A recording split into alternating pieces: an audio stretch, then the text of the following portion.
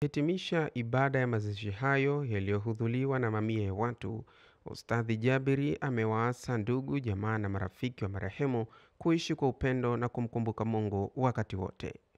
Katika dakika sekunde zinaisha, ndio umri wako unavyozidi kumalizika, ndio namna unavyozidi kulisogelea kabri lako, ndugu yangu Muislamu na usiyekuwa Muislamu. Kwa hiyo idha hamalta ila alquburi janazatan faalamu annaka ba'daha mahamulu, ukiona mwenzio kabebwa katika ile jeneza lile huku na huku, watu wamebeba mikononi, wanakwenda kumzika, faalamu annaka baadaha mahamulu, basi fahamu baada ya huyo tuliombeba, basi zamu yako wewe na mimi ninayeongea, ndugu zangu Waislamu. Lakini ni mtu aliokuwa na uwezo wa kuwasiliana na watu, na katika jamii alikuwa ni mtu wa kuwasiliana sana, na hakupenda kulipiza makubwa. Kama na jambo basi alipenda mkae pamoja, ili watu wote mpate suluhu, muwe na mwafaka. Ile alikuwa akijitahidi, hata vijana wenzake wamekosana, ana, anajitahidi kuacha kazi yake ya kutoka Mwanza kuja huku kuwaunganisha. Kwa kweli ni mtu ambaye alikuwa ni mtu maarufu katika kuunganisha wanajamii, na pia alikuwa ni mchapakazi kwa kweli. Kwa kazi yake alikuwa akifanya, kila mtu anafurahia.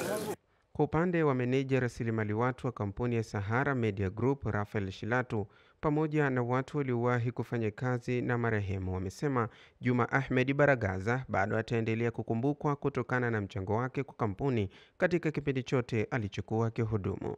Mtangazaji mahiri, vipindi vya mambo mambo, vipindi vya je, huu ni ungwana, lakini pia alikuwa anaendesha vipindi televisheni, vipindi vya asili.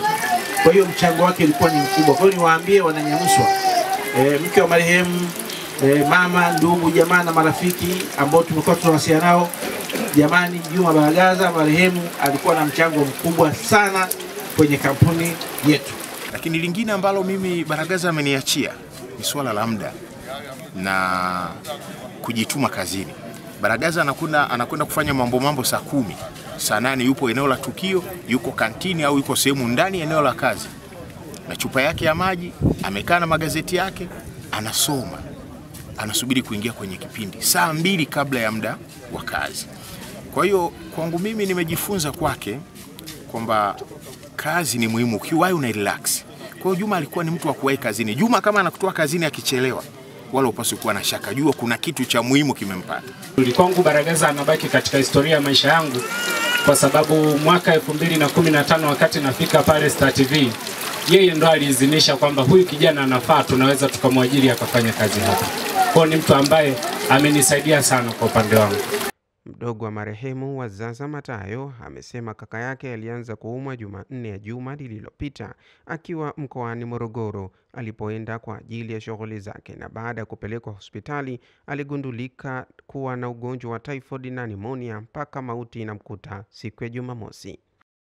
ya Jumamosi, juma, Ijumaa kuamkia Jumamosi saa kumi inaambiwa kakako anaumwa nini, wanasema inaonekana mapafu anashindwa kupumua, akipumua analalamika kifua kinauma.